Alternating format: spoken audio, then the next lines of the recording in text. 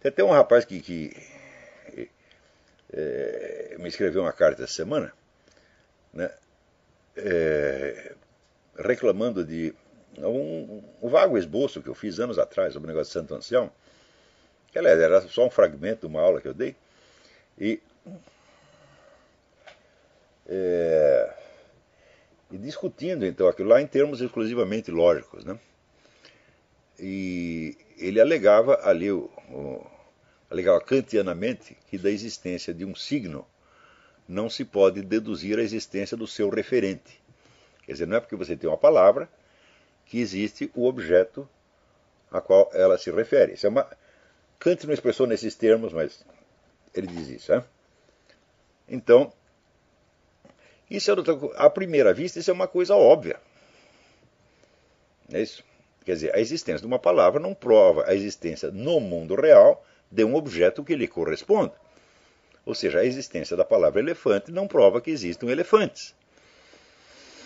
Só que esta regra, ela se aplica a muitas palavras, mas tem outras coisas que ela não se aplica absolutamente. Por exemplo, a palavra linguagem. Hum? A palavra linguagem não poderia existir se não existisse a linguagem. Então, ela postula imediatamente a existência do seu referente. Ela não pode ter apenas um significado. Hum? hum? Então, o rapaz diz o seguinte: não, suponhamos que a palavra linguagem fosse a única palavra que existe. Ela teria um significado, mas não um referente. Eu digo, como isso é possível? Isso é absolutamente impossível, porque o significado dela seriam outras palavras que explicitam então o seu significado. E essas outras palavras já constituiriam uma linguagem necessariamente.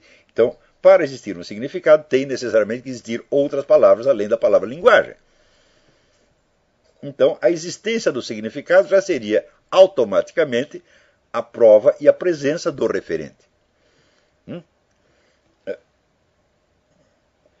Outra palavra que não pode existir sem o seu referente, a palavra eu. Hum? Não pode haver a palavra eu, tá certo? Sem alguém que a utilize para designar-se a si mesmo. Não é isso? Uma terceira palavra que é assim, a palavra existência. Se nada existisse, não existiria também a palavra existência. Então tem uma série de palavras fundamentais no idioma cuja mera presença nos mostra a existência do seu referente, não apenas do seu significado. O significado seria a expressão verbal do que ela está querendo dizer. Hum? Então, aí você vê que a regra do Kant ela falha miseravelmente. Pô. E quando Kant faz a sua famosa refutação do argumento de Santo Anselmo, ele incorre neste ponto. Hum? Ele diz, o argumento de Santo Anselmo diz que um, um ser necessário existe necessariamente. Não é isso? E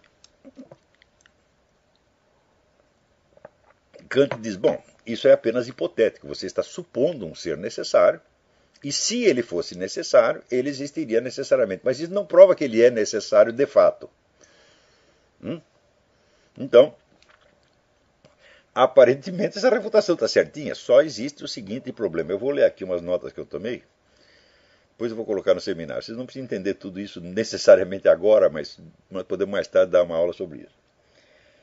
Eu digo, se não existe um ser necessário, então todo ser é necessariamente contingente. Hum? E não poderia ser apenas contingentemente contingente. Se fosse apenas contingentemente contingente, não estaria excluída a priori a existência de um ser necessário. Portanto, se não há um ser necessário, todo ser é necessariamente contingente. Daí decorre que a contingência passa a ser ela mesma a única necessidade imposta implacavelmente a todos os seres existentes. Hum? Então, não há um ser necessário, e a única coisa absolutamente necessária é que todos sejam contingentes. Quer dizer, da inexistência de um ser necessário, decorre que, que todos os seres são necessariamente contingentes. Então, a contingência é a única necessidade. Eu pergunto, isso vale também para os seres possíveis? Ele respondeu: necessariamente sim. Pois se existe algum ser necessariamente possível, ele exclui por si mesmo a possibilidade da sua inexistência. E, portanto, tem de existir necessariamente. O que contradiz a inexistência do ser necessário. Tanto quanto os seres reais, todos os seres possíveis são, pois, necessariamente contingentes, segundo este raciocínio. Pode haver relações, agora não seres, mas relações necessárias entre entes necessariamente contingentes? Não, pois uma relação necessária inexistente seria um mero nada. Toda relação necessária entre seres necessariamente contingentes terá de existir necessariamente, e estaria assim submetida ela própria à contingência universal da existência. Então, todas as relações teriam que ser contingentes também e não haveria nenhuma relação necessária. O mesmo aplica-se indiferentemente às relações entre os entes existentes, como às relações entre os entes meramente possíveis. Se estes são necessariamente contingentes, a existência de relações necessárias entre eles esbarraria na mesma dificuldade que bloqueia a possibilidade de relações necessárias entre seres necessariamente contingentes. Neste caso, todas as relações lógicas que se definem como relações necessárias entre seres possíveis estariam anuladas automaticamente. Ou existe o ser necessário, ou toda e qualquer prova lógica de qualquer coisa, mesmo hipotética, é uma impossibilidade pura e simples.